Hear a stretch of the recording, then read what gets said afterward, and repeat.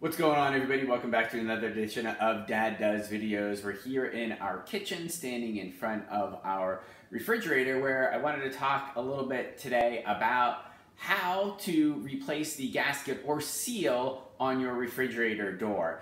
It's super easy. You do not need to call a service technician to do this at all. We have a Frigidaire, French door, gallery refrigerator. I'm gonna show you how to replace that gasket or that seal on one of the doors on your refrigerator. This is the part that I'm talking about right here.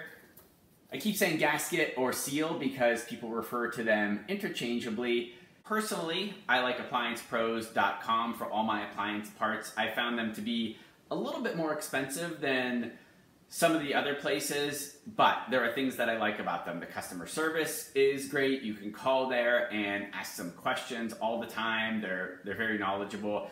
You can return the products that you order within a year, and I love how they ship things. So this gasket, and I haven't even opened it yet, comes in this very wide and very long box, and that's because it's important that the gasket does not lose its shape going through the shipping process because if it does, it takes a while for it to regain its shape once you open the package. You don't want it to be all kinked and crinked and all those different things because you want it to lay flat against all those pieces and parts of your refrigerator. So let me get this open, show you what it looks like.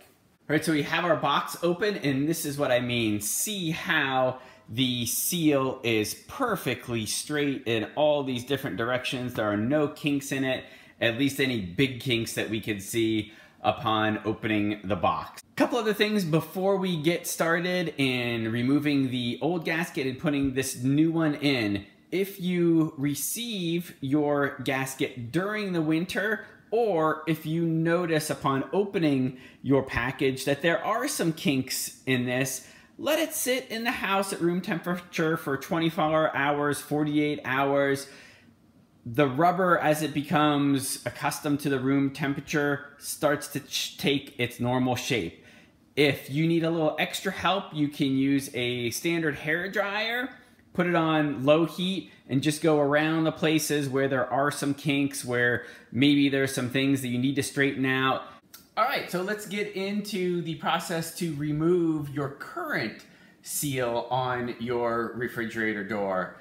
And this is really easy. No tools needed. Just start at one of the corners on top, and I'll try to stay out of the way as best I can, and just pull.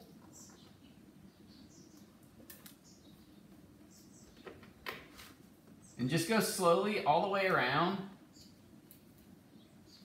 and you'll be able to remove your current gasket just by doing this. It just comes right out of the little slots all the way around the refrigerator. Before we put on the new gasket, I just like to go over the places where the gasket is going to fit in and just rub it down a little bit with a slightly damp cloth. So that's what I'm gonna do here. I'm just gonna go all the way around. And then on the new gasket itself, I'm going to make sure that is clean as well and just go over it really briefly with this cloth. All right, before we add our new gasket to our door, I just wanted to call your attention. You're going to see on your gasket these little puncture holes. There's one, there should be one on each side of your gasket. Those are normal. They allow for a little bit of air pressurization to happen. If they weren't there, the door to your refrigerator would be a little bit harder to open. All right, so let's open the door where we're gonna put that new gasket on. We have our gasket. This is the part, this kind of thick strip that goes all the way around the gasket. That's going to be the part that just fits in the opening that goes all the way around your door. And again, no tools are needed. You're just going to push the gasket in. So what I like to do is just kind of hang this up there like that. Make sure it goes all the way around and then start at one of these corners and for our purposes here of recording this, I'll just start at this upper left-hand corner because it feels like this is the, the best angle. And you simply push and you will feel that part of the gasket go into the opening all the way around the door.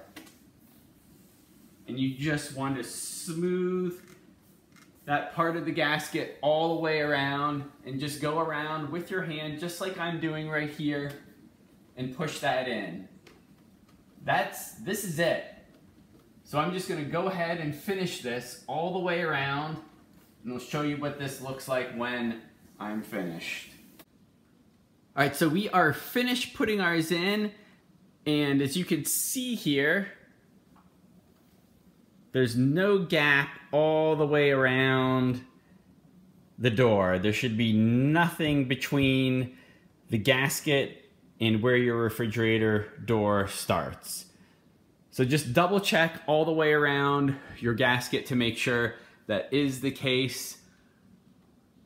What I like to do once I'm finished getting this on is do that visual inspection and then I like to double check and just go around and push again all the way around just to make sure. Now, if you notice some kinking or places where you think the gasket should be expanding and it's not there, again, get one of those hair dryers from your bathroom, put it on low heat, and just go over it for five or 10 minutes. It should expand. Sometimes these gaskets also take five or seven days to completely form around your door. So no need to call the place where you got it from until about a week later. If it's still not adjusting correctly and forming around your door, then you can call. That's it, folks.